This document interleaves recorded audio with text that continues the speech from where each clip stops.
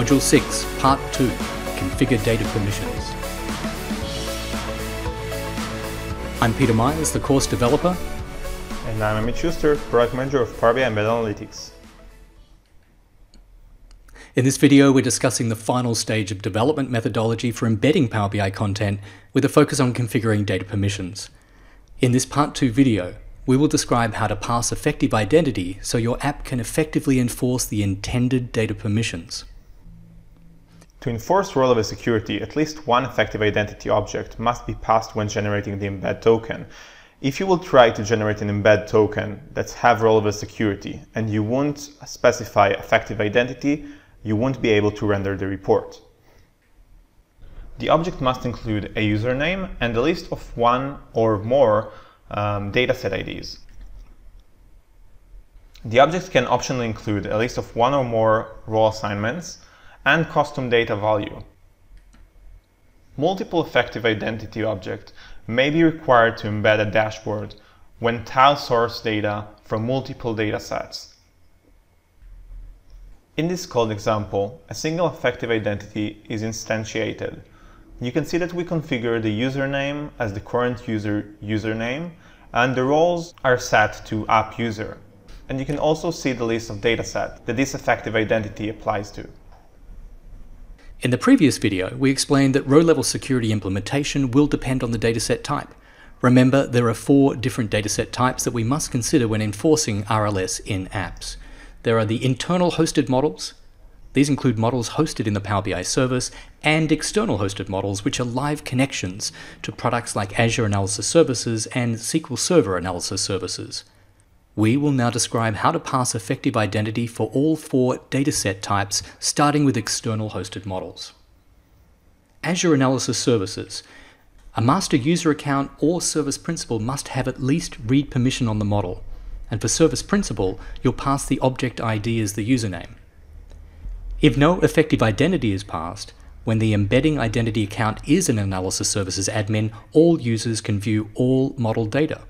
However, when the embedding identity account is not an analysis services admin, data visibility will be limited by roles assigned to that account. Please note, it's a recommended practice that the effective identity of the master user account is passed explicitly, even when row-level security is not being enforced. So, to enforce row-level security, pass effective identity. The username must be a master user account, UPN format, or a service principal with the object ID. One or more roles must be defined in the model, and the roles must be passed to limit data visibility by enforcing its rules. The DAX username function will always return the master user account, and the DAX custom data function will return any string value passed by effective identity through the custom data property. For SQL Server Analysis Services, the gateway data source credentials must be an analysis services admin. The embedding identity count must be a gateway admin or have read override effective identity permissions on the gateway source.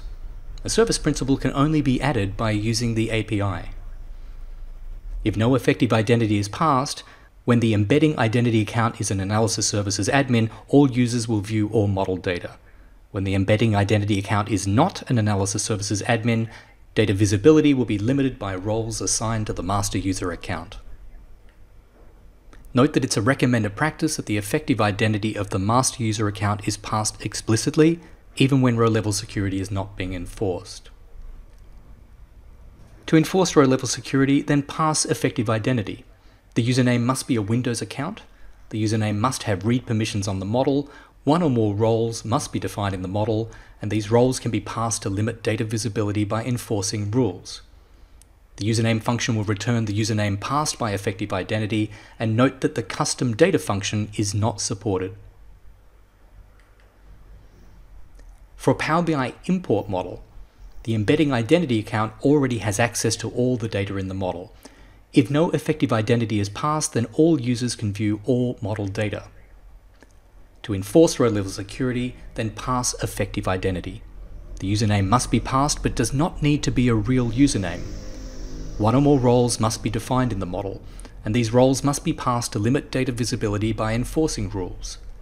The DAX username function will return the username defined in the effective identity object. and the custom data function is not supported. Note that the username function can behave as the custom data function because you can control the value returned by the username function. And now for Power BI Direct Query models. The embedding identity count already has access to all data in the model. For data sources like Azure SQL, they can be queried by the credentials stored by the data source. If no effective identity is passed, all users can view all model data according to the permissions of the data source account. To enforce row-level security, pass effective identity. The same facts as already presented for import models apply. The username must be passed, but does not need to be a real username. One or more roles must be defined, and they must be passed to limit data visibility by enforcing the rules. The DAX username function returns the username value of the effective identity, and the custom data function is not supported. There are many good design practices to consider when enforcing row-level security. First, strive to enforce data permissions through roles not app logic. Strive to reach scale by offering secure master reports that delivering different data to different users. Strive to define fewer models with well-designed roles. You should also strive to define fewer roles leveraging dynamic filters. When possible, create roles and rules on dimension type tables rather than the fact type tables. Right, it's actually much more efficient. So remember your dimension type tables are the things that you apply filters and grouping to, like your products, people, places, and concepts. Verify that the model design, including relationships and properties, are correctly configured. Right, this is really important because those model relationships propagate filters. And if these relationships aren't correct, then you might have the wrong filters propagating and it may not enforce the permissions you expect. Six great points, but wait, there are more. When using Power BI Desktop, rigorously validate your role security. Ensure that the data source connections use the same database user that will be applied when uploaded to Power BI. And test also scenarios with invalid values, like what would happen if I passed in an incorrect username? Would it still deliver values anyway? And lastly, document roles, their purpose and expected username values for handover to the app developer. Lastly, there are considerations and limitations to bear in mind. If a model does not define roles, the generate token request must not be passed effective identity other than the embedding identity account. If a Power BI hosted model defines roles, effective identity must include at least one role. And lastly, the list of effective identity objects defines multiple identity tokens for dashboard embedding, for all other resources, the list contains a single identity. Great. Well, in the next video, I'll demonstrate enhancing my app by configuring data permissions.